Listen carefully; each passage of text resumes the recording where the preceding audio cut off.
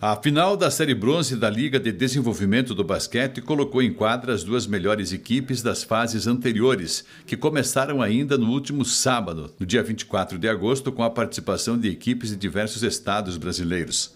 Na final, nesta quinta-feira, Pato Basquete e Vasco do Rio de Janeiro. No primeiro tempo, o Pato conseguiu imprimir seu ritmo, mas no início do segundo tempo viu o Vasco dominar e acertar mais. No último quarto, chegou a esboçar a reação, mas não deu.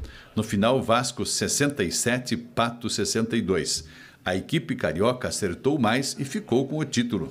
Um rebote de ataque né, até o nosso atleta o Davi, número 4, ganhou o prêmio de jogador mais valioso, né, mais eficiente da final.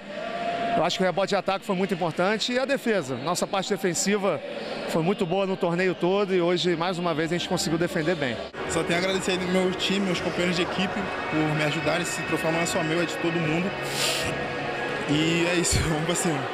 Chegar na final é motivo de comemoração para o Pato Basquete. Embora a gente tenha ficado com o vice-campeonato, mas nosso time ele é bem jovem, é uma equipe sub-19 para uma competição sub-22. Então acho que os meninos foram muito bem, né? Desempenharam, foram esforçados, encorajados. Eu acho que foi muito bom o resultado, assim. Os atletas do Pato receberam medalhas e o troféu de segundo lugar. E os atletas do Vasco também receberam medalhas e o troféu de campeões da LDB Série Bronze, realizado em Pato Branco de 24 a 29 de agosto.